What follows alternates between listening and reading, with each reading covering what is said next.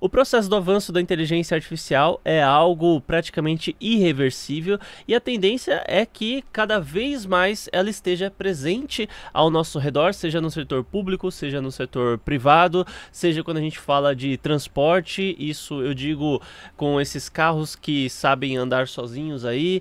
A gente vê também no setor educacional, né? Não só os alunos pegando trabalho com a própria inteligência artificial, fazendo para eles, mas também os professores utilizando usando esse recurso para aprimorar a sua técnica de ensino e até mesmo é, setor da saúde, vários outros aí. A tendência é que tudo tenha inteligência artificial até certo ponto, até certo nível. E muitos falam até a respeito do controle da inteligência artificial. Então agora vamos ver aí um exemplo de um avanço da inteligência, que é o que o ChatGPT acabou de anunciar. Então, eles aprimoraram pro não só o ChatGPT conseguir ver é, ler imagens e explicá-las, mas agora ele vai utilizar, você pode utilizar a imagem para conversar com o chat GPT e você pode circular um pedaço da imagem. Ó, oh, isso daqui, o que, que é, como que funciona, né? Então eles lançaram esse vídeo aqui recentemente a gente vai olhar, só, só não vou pôr a música que ele tem para não gente não ter problema, né? Mas então aqui tá um exemplo que eles fizeram. Primeiro uma pessoa tirou uma foto da bicicleta e falou assim: "Olha, você você pode me ajudar a baixar o banco da bicicleta?" Daí o ChatGPT falou assim: Olha, o banco da sua bicicleta, você tem que fazer isso, isso, isso, passo 1, 2, 3, 4, passo 5 e falou que você vai precisar de uma ferramenta. Pediu para mostrar exatamente qual é o pedaço da bicicleta, é, para ele identificar qual a ferramenta. A pessoa tirou, circulou, mandou pro, pro chat GPT falando: É isso daqui mesmo? É, daí ele falou assim: Olha, isso daqui não é o um negócio do nível. Enfim, daí ele pegou e mandou uma foto da mesa de ferramentas dele e também da, da mesa não, né, da, da caixa de ferramentas e também aqui do manual da bicicleta. E então o ChatGPT deu uma olhada no manual, né? Você repara que ele não copiou um texto e colou lá para o ChatGPT interpretar. Ele colou só a foto do, do manual e a foto da ferramenta. Daí o ChatGPT deu uma explicada para ele como funciona. Daí por fim o cara tirou a foto e falando: "Ah, foi feito, muito obrigado aí" e tal, né?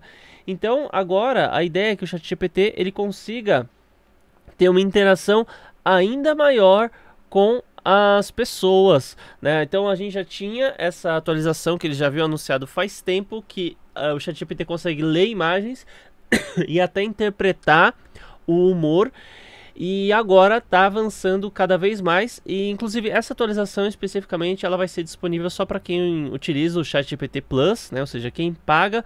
Mas quando vier uma atualização mais robusta, provavelmente eles liberem isso daí na versão gratuita. E é claro, um dos maiores temas de discussão quando se fala em relação à inteligência artificial é o fato disso daí começar a dominar o ser humano. Não sei se eu vou tomar um strike por fazer isso que eu vou fazer aqui, mas enfim, esse daqui é um trailer de um filme que eles tratam justamente desse maior medo da humanidade, que é o fato da inteligência artificial começar até certo ponto se revoltar contra a humanidade e começar a atacar. Eu coloquei mais lento aqui para ver se eu não não tenho problema em relação a strike, né? Mas então, você vê que é, eles já estão começando a explorar essa ideia da inteligência artificial começar a dominar o mundo, de os seres humanos, os seres humanos terem que lutar contra isso, né? E, enfim, esse é o maior receio, né, de quem entende o básico a respeito de como as coisas estão é, funcionando, né? De fato, seria a inteligência artificial se revoltando, né? E também, é claro, chegar ao ponto de que a própria inteligência artificial comece a ser indistinguível em certos aspectos dos seres humanos. Então, é, várias empresas aí já estão é, planejando né, a criação de robôs que tenham aparência humanoide. É, dentre eles, temos aí a Boston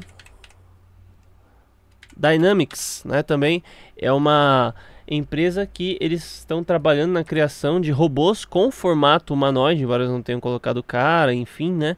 Aqui tá um exemplo de um dos vídeos dele, né? Tá um trabalhador e tudo mais.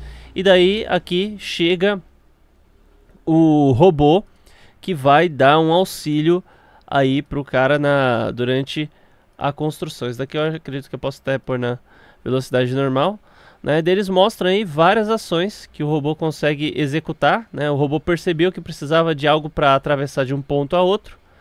Ele sobe dando os pulinhos, fazendo os malabares dele, joga a maleta calculadamente aos pés da pessoa que estava ali.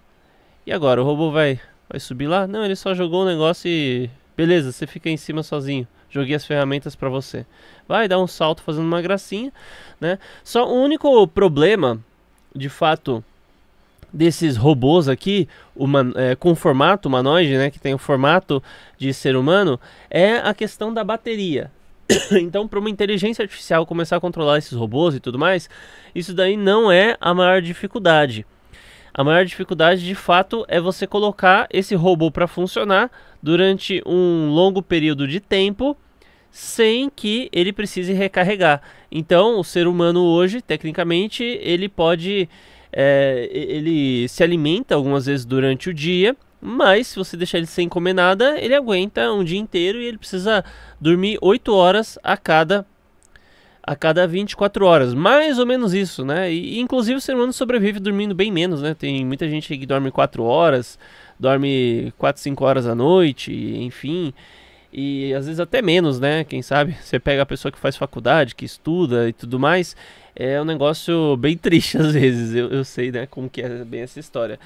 E daí, com isso, a gente vê que tecnicamente esses robôs eles têm um problema muito sério porque eles não conseguiram ainda é, desenvolver um certo tipo de tecnologia que permita que essa é, que esses dispositivos, esses robôs aí, enfim, eles consigam tecnicamente ficar, por exemplo, um dia inteiro funcionando. É, normalmente eles, eles ficam uma ou duas horas só funcionando, porque não, não sei bem como funciona a questão dos motores, dos sensores e tudo mais.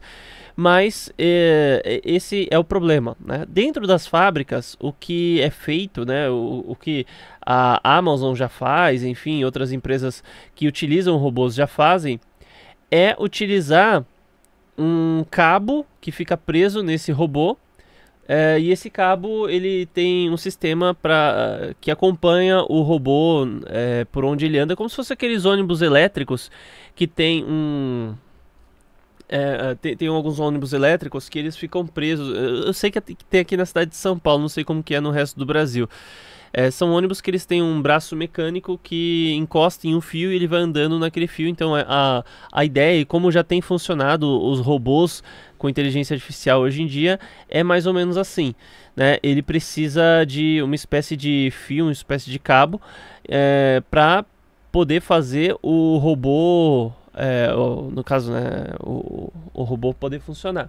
Mas a integração com a inteligência artificial é o menor dos problemas. Porque se você for ver bem, isso aqui que, que eles estão fazendo pode ser simplesmente uma programação. Né? Eles calcularam mais ou menos o espaço que tinha aqui, programaram e colocou o robô para fazer os movimentos. Né? Pode ser que já tenha uma inteligência artificial, enfim, mas você pode ver que ele, ele carrega um casco de tartaruga bem grande aqui. É uma puta bateria que tem aqui. E ainda assim, isso daqui pode não ser. É, acaba. Pode. É, às vezes não durar muito tempo, né? Inclusive esse trilho que está aqui em cima. Você vê que tem uns cabos pendurados. É, provavelmente é por aqui que eles carregam os robôs. Enfim, pode ser que sim, pode ser que não. Mas a ideia então é essa, né? Esse é o, o grande problema e Tal, talvez esse seja um dos impedimentos que faça com que a gente ainda não tenha os robôs humanoides andando por aí o dia inteiro, né? Porque tecnologia para isso já existe. Inteligência artificial para isso já existe. O que não existe é, ou, ou, pelo menos a gente não sabe se existe, é essa tecnologia de energia, é, voltada à energia que esses robôs utilizam, né? Então é isso, pessoal. Muito obrigado por ter assistido e até mais.